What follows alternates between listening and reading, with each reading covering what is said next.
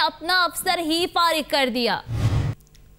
خاتون آفیسر کی بچی کو پولیو کے قطرے پلانے کی پداش میں اسسٹنٹ کمشنر عہدے سے فارغ کر دیے گئے ہیں۔ ڈائریکٹر ایکسائز مریم ممتاز کے شوہر نے اپنی بچی کو پولیو کے قطرے پلان سے انکار کیا۔ رہا خاتون آفیسر مریم ممتاز نے پہلے A C city Ali Askar per phone پر غصہ نکالا، جبکہ چیف کمشنر کو شکایات بھی لگا دی۔ چیف کمشنر ذوالفقار حیدر نے A C city Ali Oscar سے ایک گھنٹے میں جواب بھی طلب کر لیا۔ غلطی نہ ہونے کے باوجود خاتون آفیسر سے معافی مانگنے کو تیار ہوں۔ اے سی سی ٹی کا یہ تحریری جواب سامنے آیا ہے۔ خاتون آفیسر کے شوہر نے کہا کہ تم جانتے نہیں میں کون ہوں، تمہاری جرت کیسے ہوئی؟ میری بچی کو پولیو کے قطرے پلاؤ خاتون آفیسر کے شوہر نے غصہ دکھایا۔ چیف کمشنر ذوالفقار حیدر نے ایک نہ سنی اور اے سی سی ٹی کو عہدے سے فارغ کر دیا۔